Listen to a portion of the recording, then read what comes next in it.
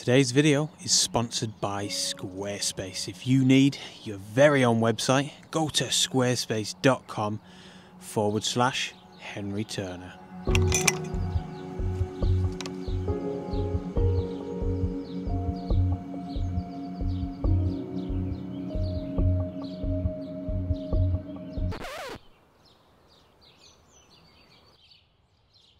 So I have to show you this, guys.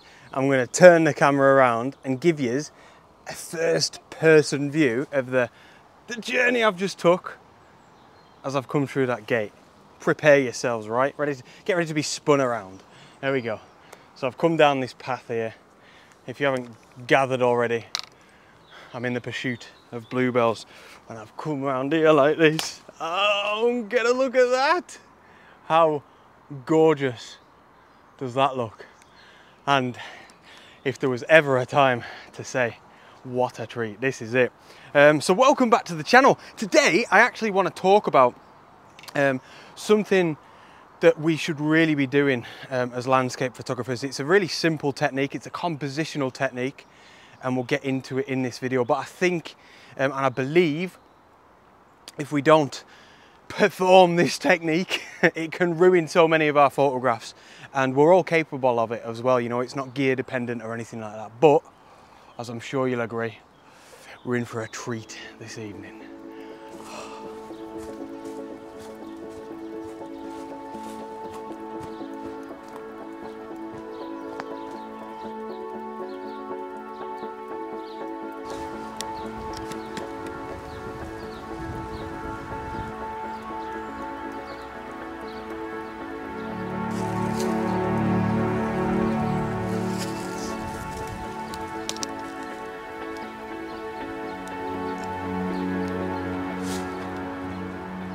Oh, you know what? This is potentially the most awkward photograph I've ever taken since I first picked up a camera. This is so awkward on so many different levels, and I'm going to be babbling here, guys, just to give you a warning. Firstly, the camera, the video camera, you guys are dead straight. Oh, look at that gradient. This is madness. Um, now, before we get into this particular photograph, because you're probably quite interested in this position that I'm in, um, let's talk about the premise, the topic of today's video. And um, what can ruin so many of our photographs? And it is simply, let's call it perspective, where we and our, our camera are physically placed in the scene. And this is exactly why I've come to the woodland today, guys, because it is accentuated in the woodland. And it's so important where we are placing our camera. Look at these bluebells down here. If you haven't gathered already, these are gonna be my foreground element I've got the 14 to 30 millimeter lens on. So even though these look quite small, they look very small down here to me, shooting at 14 mil, these are taking up almost one third of my composition. These are so, so important. And if I move even slightly, I mean, what we're talking here? Like five centimeters or something like that. Absolutely nothing. If I move a bit to the left, it just changes the composition so, so much. And um, it's, like I said, it's, it's, it's like one of the only things that we've got control over. It's so important. You know, we don't have control of the light. We're not in a studio. We don't have control over our subjects. We can't change how they look. We don't have control over the weather. This is one of the few things as landscape photographers that we do have control over. So we need to use it wisely. Um, so this particular photograph, if I was to explain this to you, I would be babbling for minutes and minutes and minutes. And I know some of you is like that, but um, I don't. So I'm going to try and keep it short and sweet if I can. Um, these are right in the front and then I've got the sun off in the background. And again I've moved left and right and I've deliberately made sure that the sun is coming through. You can see it's hitting my face coming through some of these trees straight into my camera lens. And this is an image that is all about the light. Let me tell you um, it's a focus stack. It's an exposure blend. It's absolute carnage let me tell you. This is going to be tricky in post-production but I think it's all going to be worth it. Beautiful bluebells in the, in the foreground. I've got a sun star effect shooting at f20, so the sun is streaming through. Oh my goodness me, it looks so gorgeous, I promise you, if I can get the post-production right. Um, so yeah, tricky one to shoot, all about the perspective. I do hope you like it.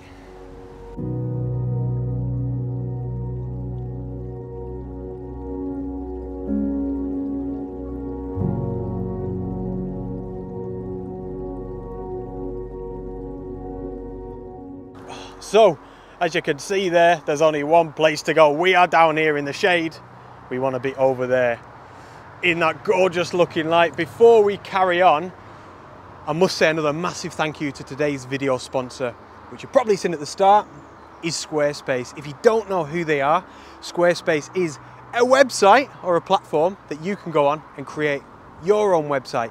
And take it from me, it's wonderfully easy. They've got loads of fantastic templates that you can use. Um, and you can either use the templates and be done with it, or you can customize them on top of that, which is what I did, and you know, really make it your own. They've also got some fantastic e-commerce options, which basically means you can sell things on your website, um, which I use to sell my prints, of course, my ebooks. I advertise my one-to-one workshops on there, things like that. Brilliant. And you don't have to sell things on it, you know, it can just be a great place to showcase your art or your work. And it goes without saying, it doesn't just have to be landscape photography as well. It can be for anything. So if you want to give them a go, they come highly recommended from me. Go to squarespace.com forward slash Henry Turner and get yourself a lovely free trial. And if you like your free trial, make sure you use the offer code Henry Turner at checkout to get yourself 10% off your first purchase. Brilliant. Let's get ourselves into this light.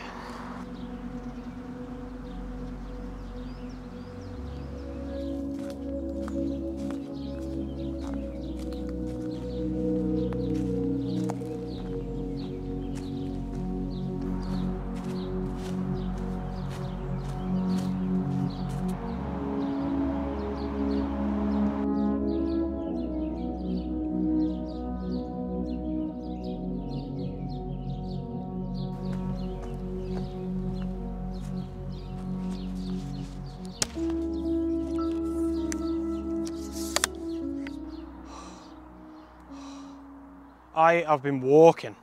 I've been walking my legs. I've been walking for about two and a half hours. I just checked my watch. I've done over 10 kilometers. The legs are in bits. I've even had a couple of tumbles as well. That's when you know you're getting stuck in. Um, so another photograph here. First things first, just in case anyone's wondering, the little blue thing here is not going to be in my foreground. If anyone knows what they are, by the way, can you let me know? I see them all the time. I assume it's holding like animal feed for pheasant shooting or something. I don't know, but please let me know. I've always wondered. Um, I'm looking forward to this photograph just as much as the last, to be honest. The best thing that, that I'm liking about this is that it's quite wide. It's a bit of a wider shot of the bluebell woodland, you know.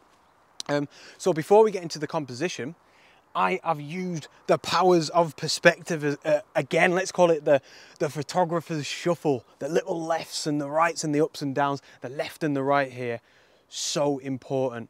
And it's all just to make sure that my subjects feel right within the frame. And I've got one word for you, and this is a great example of this, gaps.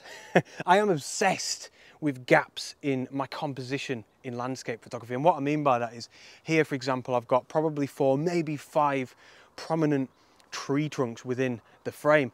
And each gap um, in between each of the trunks are so important to me. I've tried to make them equidistant. And you know what? It just breathes. It just feels right. It flows in the composition you know? And it's again it's so important. Just because i haven't got something really really close to this lens here it doesn't make any difference. You know the little landscape photographer's shuffle left and right especially in this instance like i said so so important. So it's quite a simple composition and all i'm doing really is making the most of the light. We're just coming into the golden hour now it's going to dip down below some of these. I mean, these woodlands are really undulating, so I might even lose it within the next 20 minutes. And all I've been doing is just walking around, following these patches of light, and you can see we've just got these strips across the woodland floor, across all of the bluebells, of course. Um, so composition, like I said, four or five tree trunks. I've got two nice straight ones that are on the left and right hand side of the frame, and then two in the middle that are sort of leaning into each other. It's wonderful. Um, I'm actually focused on the closest trunk to me, I'm putting an f5.6 so we get a little bit of blur as we go off into the into the background, only a tiny bit, um, which helps to get rid of some of the distractions in the background, and I like it. Um, I'm shooting at ISO 400 so I can get a shutter speed of 1 125th of a second. Now that's important because, I mean, not at the minute, as is always the case, but we are getting quite a lot of breezes through this forest and I want a fast shutter speed to freeze the motion in any leaves. If you watched last week's video, this is a perfect example of when not to use aperture priority mode. This is when you need to be using manual mode and you know really have a, a hold on all of those settings. You need to know exactly what's going on. Um, and that is that, a lovely composition.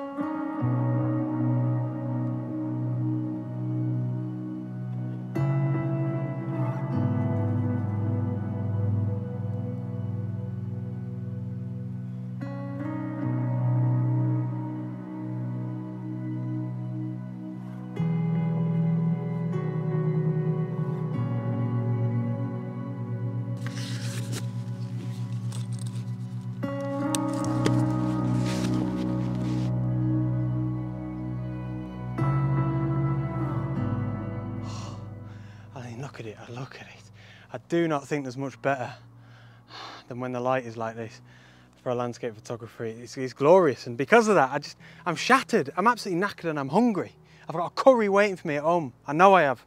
It's leftovers. But I, uh, I have to keep going because I suppose this is what I've been waiting for. This, this light, look at the shadows. I always say you do not have light without the shadows. The shadows are so gorgeous and important. Now, before I carry on and hopefully try and get another shot, um, what did I just think of? Then I have to mention this. Everything that I've been talking about today, let's call it the, the photographer's shuffle. It's got a bit of a ring to it, that, hasn't it? Uh, but you know what I mean, that control we have over perspective.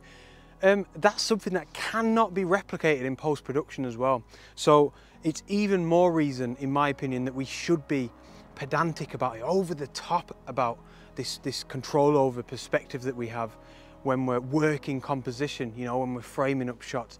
I think it's really important. And yeah, that's another good reason, I think. Um, right, get a look at the light. Fingers crossed we can find one more shot. Oh, I can almost guarantee that one or two of you said it. Only a couple of seconds ago I was talking about this very scene.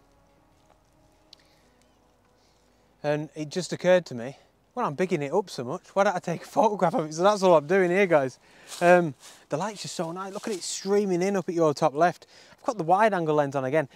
In many ways, it's gonna be quite similar to the first shot. Obviously, there's no bluebells in it or anything, but I've got the wide angle lens getting in close to this stone wall and just allowing it um, to lead in to the big oak tree there uh, behind my massive head there he is so it's nice it's a nice left right balance because we've got the stone wall on the left the oak tree on the right and then all this light is kind of streaming into everything, you know, it's class. And even down here, look at this, down on the stone wall, we've got these nice patches of light. Um, brilliant. I think my favourite part of the images, let me show you this, or just my favourite part of the scene, is the leaves of the oak tree. Look at them. Look how they're lighting up from this position here. Those gorgeous spring leaves and they're so vibrant and golden, you know, because they're, they're being sort of hit by all that beautiful evening light. Bliss.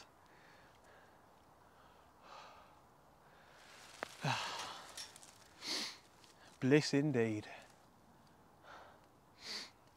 Living the dream.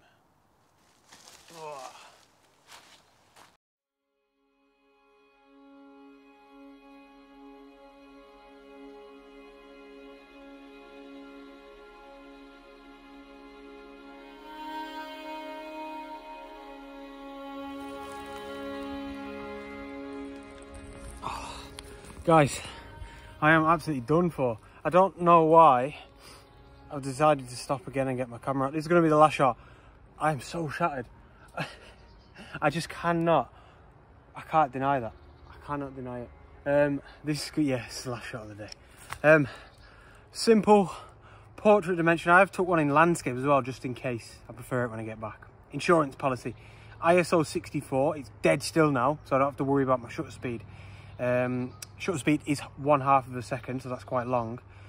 And I'm at f18. I'm not focus stacking it, I'm just focusing about one third of the way up from the bottom of the frame. Um, f18 will, you know, that's really, that's a right closed aperture. And uh, it also gets me a Sunstar as well. Right, I need my chicken madras. Thank you so much for tuning in, listening to me babble. And of course, subscribe if you're new. Please hit the thumbs up button as well it does help me out on YouTube. It does help me out. I'm out here living the dream. Hope you like this last shot. ah, out.